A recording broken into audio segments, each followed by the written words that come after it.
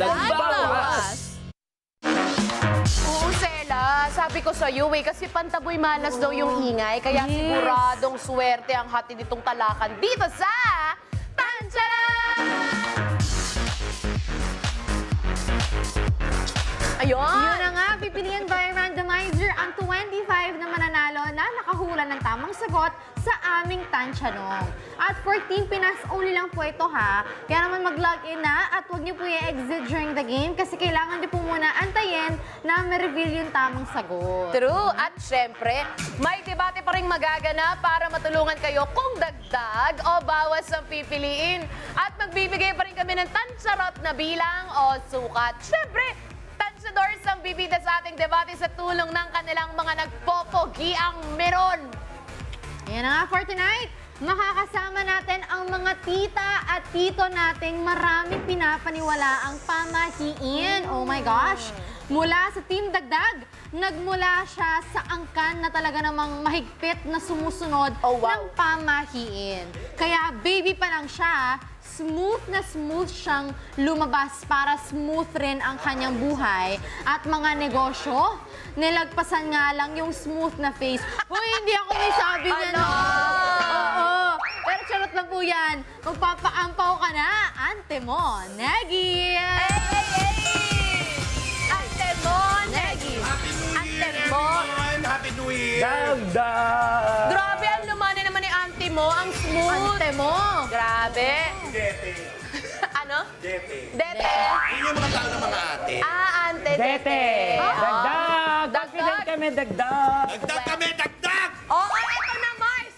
From Team Bawa, syempre hindi siya ma nagmimintis sa pagsugot, pagsunod sa mga tradisyon para swertein sa Pasko at bagong taon. Kaya hindi nagtagal, siya na mismo ang swerteng nagtatawa, nagkatawang tao,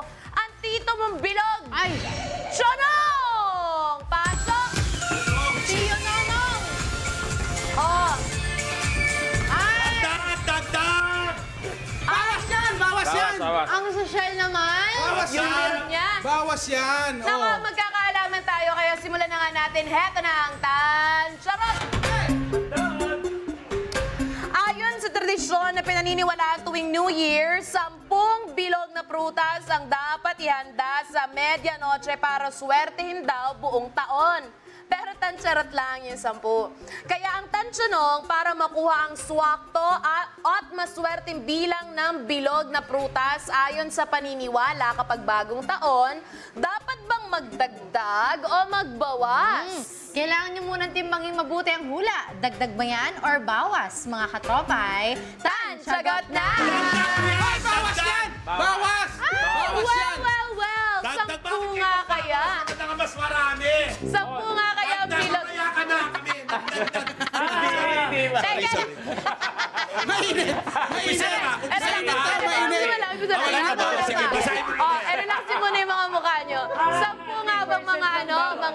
ano nga ba yan?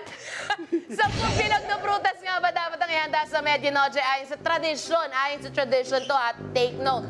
Team Dagdag, eto na. Anong masasabi nyo? Ah, Wala na, nasabi ko na yung mga gusto ko sabihin. Sige na, sabihin mo na. Sabihin Ito, mo na. dagdag yan. Nagkamali yata kayo ng bilang dahil Hala. ang sampung bilog lang na alam ko ay ang Dragon Ball. Ala! Ano Ni yun? Goku, yes. Na hanggang ngayon di pa mahanap-hanap at ang bilog na prutas naman dapat higit sa sampu. Oh, ang bakit? alam ko dyan, 12 Oh. yan or 12 12, or na 13. bilog or 13 ang nilalagay. Sobre yan, hindi na kasi sa may lamesa! Sa inyo kasi, Bawas yan! ini- wala naman kayo nalagyan pinggan nyo lang nilalagay. Tumigil ka! Pag nakompleto mo yung Dragon Balls, eto lalabas! Ala, dragon Bawas yan! Hala. Wow, yang iya ako sa Mr. Popo, ha? Bilog yan na! Bilog na prutas, kaya bilog na prutas ang swerte dahil simple yan ang infinity. Ano ba ang shape ng infinity? Eight. Ocho, walo, eight. Hindi naman mauuso yung kanta ng Ah, ocho, ocho. Sabihin na nausang Ano? 8-8, hindi naman December. Oh, Kaya kailan? halata naman na naniniwala ka sa infinity dahil mukha kang galing sa panahon ng mga da- dinosaur. kung eight ay ang, kung walo ang infinity, bakit anim lang ang infinity stones? Ay! May, May kumasa. dalang swerte ang mga bilog na prutas dahil yan mismo ang hinahalo sa fruit salad. Ay, talaga. Oo naman. Correct. Oh. Hindi pwedeng Bilog konti lang na- dahil Mali. hindi raw magiging matamis ang bagong taon mo. Grabe sabi! Dagdag yan! Tumigil ka na! Oh. Ito ang sinasabi ko sa inyo! Ano? Ano yan? Bawas yan! Bakit? Bilog din ng hamon at keso de bola, kaya counted na yun! Tsaka pati ikaw! Pampaswerte. Hindi na rin uso ang bilog na yun. Dagdag. Kasi mas gusto natin ng bills kesa coins. So dapat mahabang prutas gaya ng saging ang mga ihanda for longer life.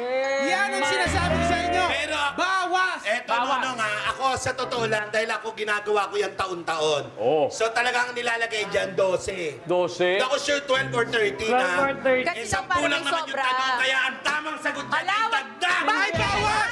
Bawas! Bawas kita, yan. Joy. Hindi si Tita J yan. Kaya gusto mo dagdag. Kasi mahilig ka kumain ng saging. Hala ko! Ayan ang sinasabi ko sa inyo. Ubus mo lahat. Okay. Yan! Nandun na tayo. Well, well, well, time's up.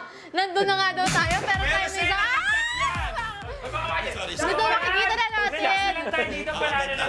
tayo. Tatama, Ako, talaga tatamaan ang ligaw na bago sa at sena. sarado na ang tansyahan. Ang mas matimbang sa ating mga katropa ay with 96% ay, nako, yun na nga, Ate Negi, magagalit ka. Dagdag! Ayun! Suwakto Pero eto. kaya ang hula ng majority na dagdag. Dagdag Pagbilang ba, ko ng tatlo, nakatago na kayo. Alauna, alas dos, alas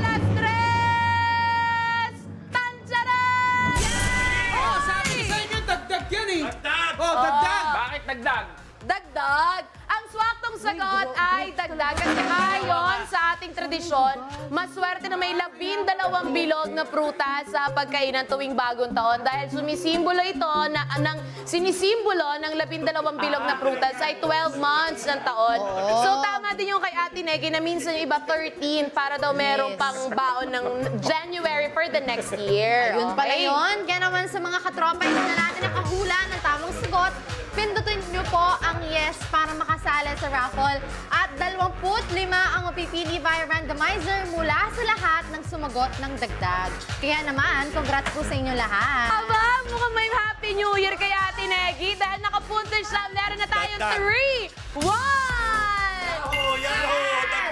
Yahoo! Yahoo! Yahoo! Yahoo! Yan. Na nga. At sa aming pagbabalik... Kaya dagdag Ah, yan! Dagdag